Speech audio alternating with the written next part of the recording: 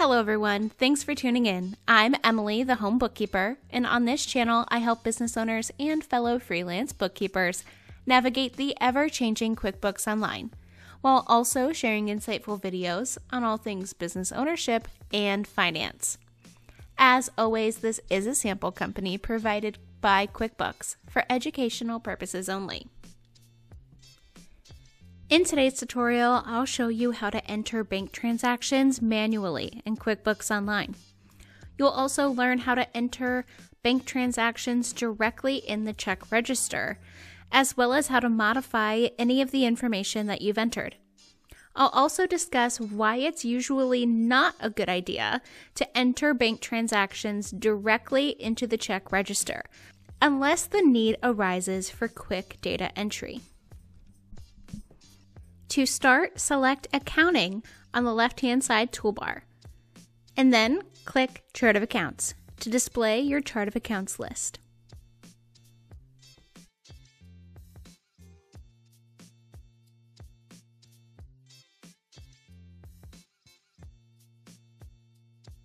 Now go ahead and find your bank account in the Chart of Accounts and click View Register in the far right column.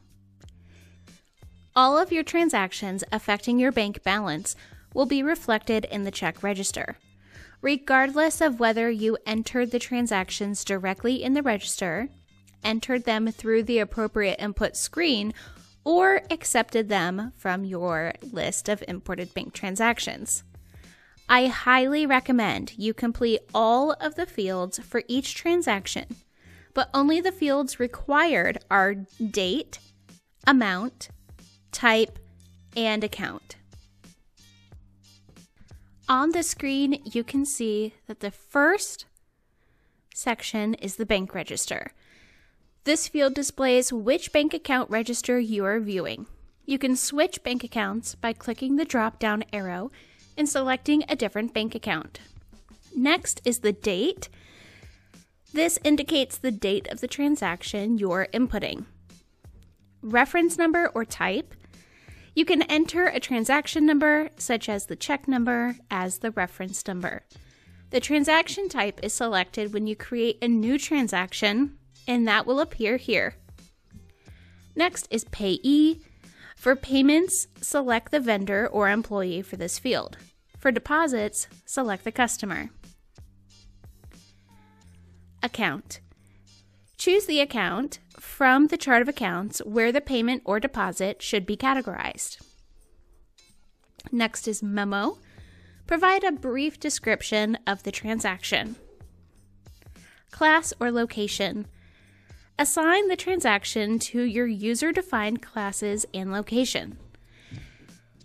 If these fields do not appear, and you want to track activity by class or location, you need to activate track classes and or locations as shown in my guide on how to set up advanced settings in QuickBooks Online.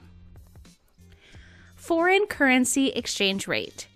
For foreign currency transactions, you can set your own currency exchange rate or let QuickBooks Online apply exchange rates automatically. Payment. Enter the amount of the check or leave it blank for a deposit. Now, deposit. Enter the amount of the deposit or leave it blank if it's for a check. Reconciled. A check mark will appear in the column once you indicate the transaction has been cleared by your bank during the bank reconciliation. Do not add or remove a checkmark manually. To keep your records accurate, I recommend that you always reconcile your bank account as shown in my tutorial on how to process bank reconciliations in QuickBooks Online. And finally, the balance. This is the account balance after each transaction. The register will provide a line for you to input the fields as I just described. Be sure to click the green Save button when you're finished.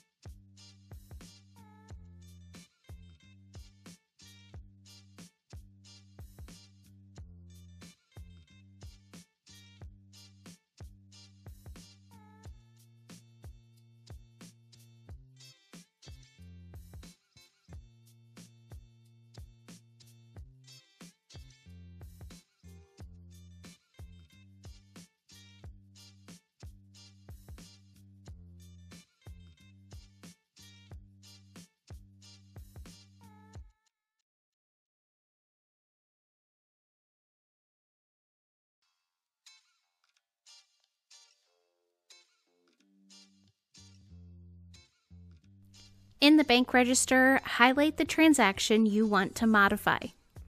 This will enable you to change any of the information you input in the register. You can go to the input screen and add or change additional information by clicking Edit.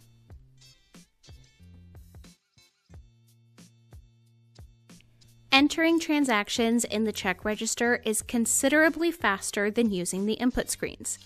You might consider entering transactions directly in the register if you're doing last year's bookkeeping.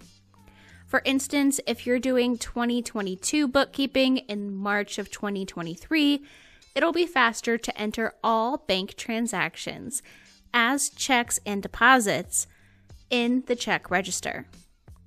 However, if you're using QuickBooks to manage your company throughout the year, I highly recommend avoiding entries directly to your check register. Unless you're entering a lot of data and only care about classifying income and expenses, it's not a good idea to enter bank transactions directly in the check register. As the top recommended small business accounting software, one of the strengths of QuickBooks Online is the use of easy to understand screens for inputting transactions. These input screens provide fields for all of the information QuickBooks needs to account for the transactions properly and provide in depth reporting. The check register does not provide all the necessary fields.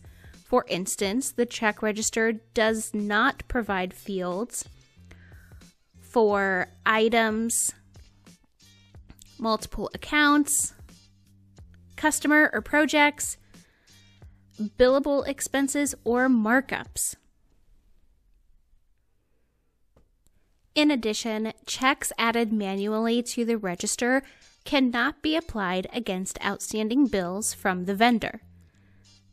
Payments received from a customer cannot be applied against their invoice if you enter the deposit in the check register. Transactions entered in the input screens will flow automatically to the check register. If you've already entered a transaction in the check register, you can open the appropriate input screen by selecting the transaction in the register and clicking Edit. In today's tutorial, you've learned why it is not recommended to enter bank transactions directly into the check register but also how to do so if the need arises.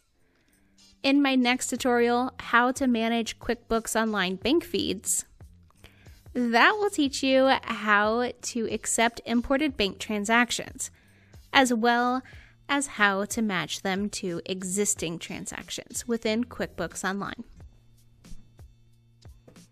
For more business resources, business supplies, gadgets, must-haves, and more, make sure to check out edjconsultinggroup.com backslash resources, linked in the description box below. And of course, like this video, subscribe to my channel, and turn on those bell notifications so you'll never miss an upload. If you have any video or tutorial requests, make sure to leave them in the comments below. And if you need more assistance, private QuickBooks online coaching, or bookkeeping and payroll management, feel free to email or visit edjconsultinggroup.com. My firm is fully inclusive and ready to help you along wherever you may be in your entrepreneurship or personal wealth building journey.